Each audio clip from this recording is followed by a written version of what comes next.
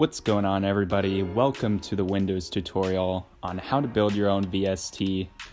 As you see, we're going to be making VST compatible audio plugins and VST is a registered trademark of Steinberg Media Technologies GmbH.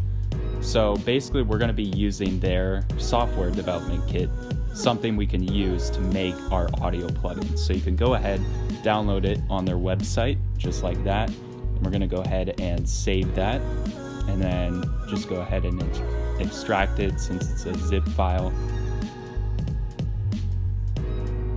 And we'll wait for that to load up and then you'll see the main folder. And in this folder we have a couple of scripts it looks like and uh, VST3. So there's a difference be between the VST3 and 2.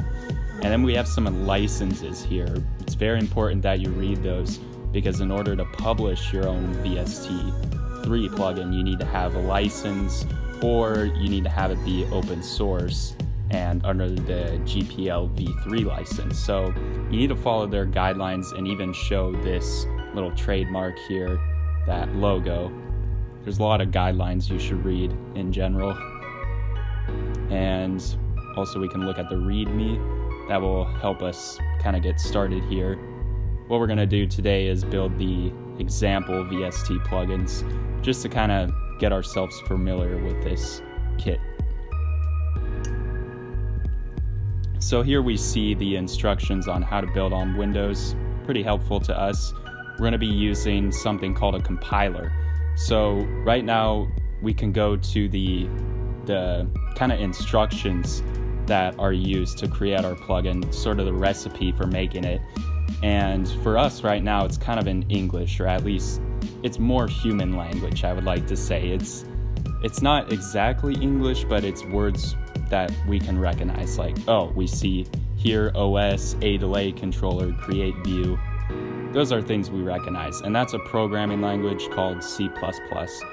But what we need to do is we need to convert all of that text we recognize into machine code. So we need Visual Studio compiler to do that on Windows. All right, so we're gonna download that, install that.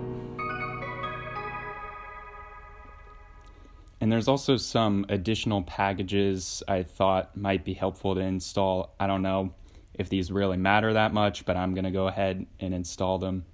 They're just all the C ones.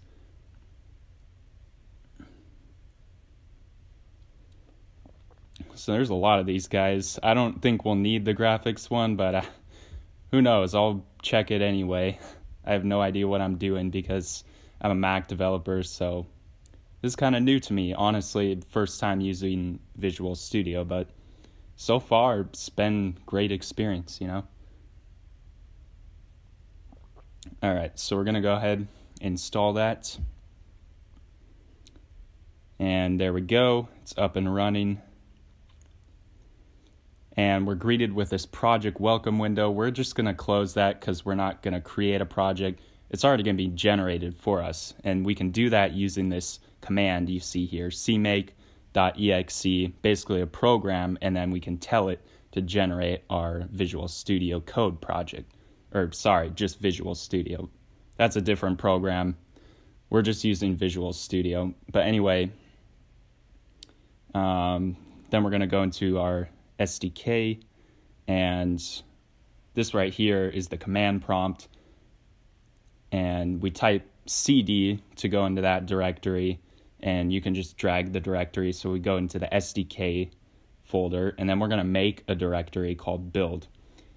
And we'll go into that directory, and then we're going to try running cmake, but it's not recognized because it looks like we don't have cmake.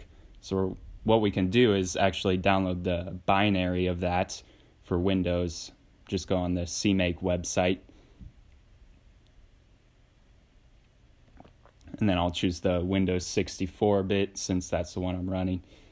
And go ahead and install it. And I'm going to check that box right there. Add CMake path for all users. And then go ahead and install.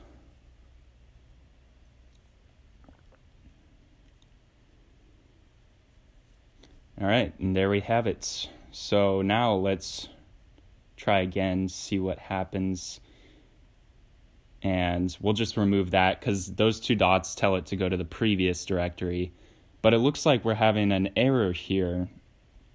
Um, a problem creating a directory, and you can see that it didn't actually build our VSTs for us.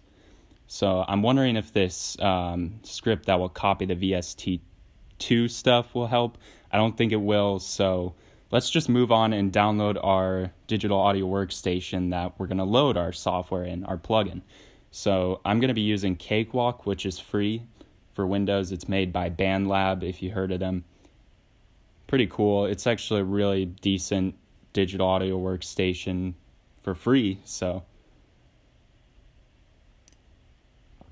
and then we can just go ahead and log in once we install their little installer and I'm going to log in with Google. All right. And then we can go to apps and that's how we'll install Cakewalk. And I'm just going to check all those, although I probably don't really need them. Doesn't hurt. I have enough storage. All right, I'm going to do the basic.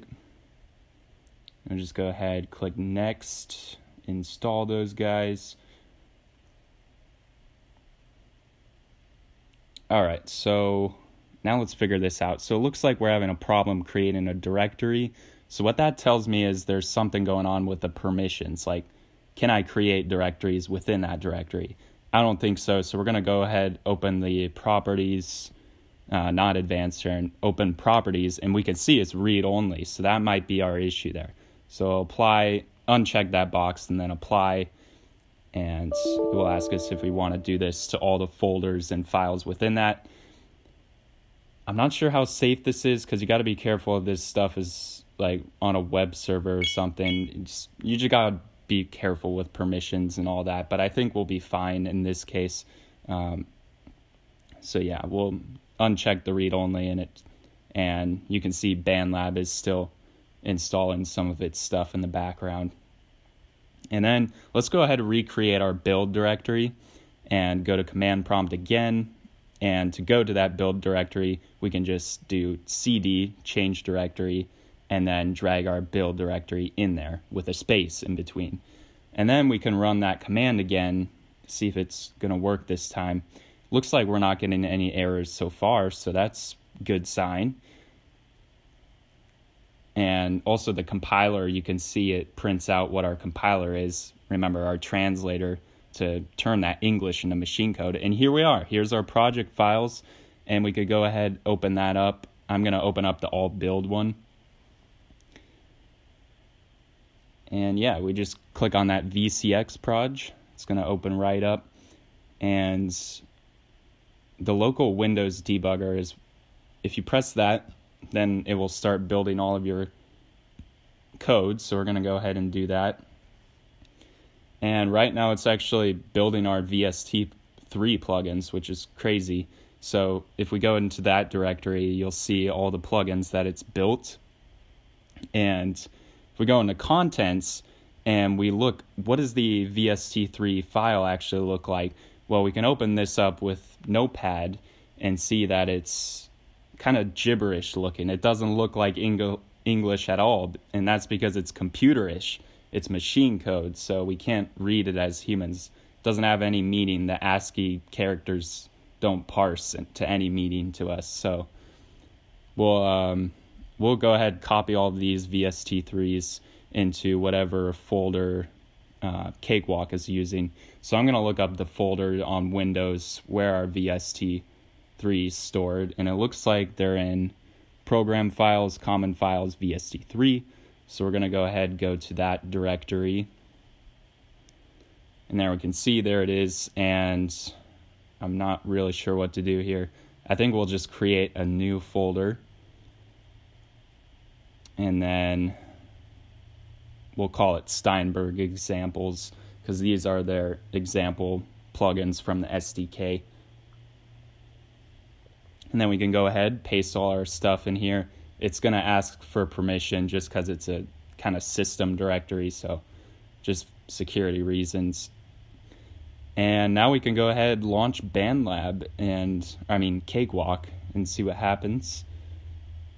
See if it loads our the plugins we just built.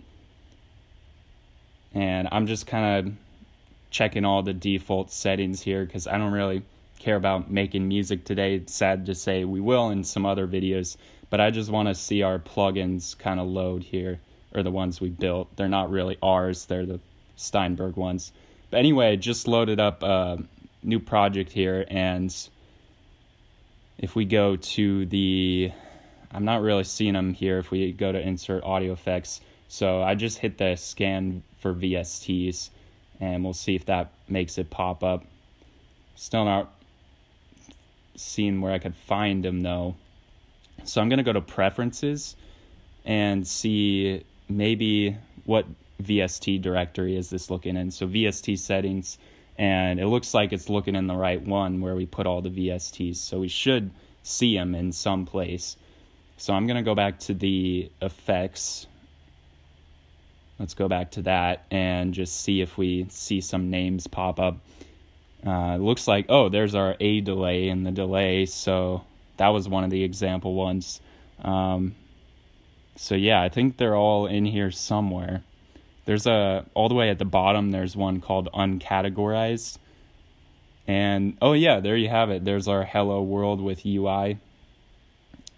That's a good one to show because it has the the VST compatible logo on it, which is kind of required to display um, if you read the license. But yeah, it looks pretty cool. The window resize doesn't work for some reason, but there you have it. There's our VST on Windows. Hope you guys enjoyed this video. If you did, make sure to leave a like and stay tuned for the next one. Peace.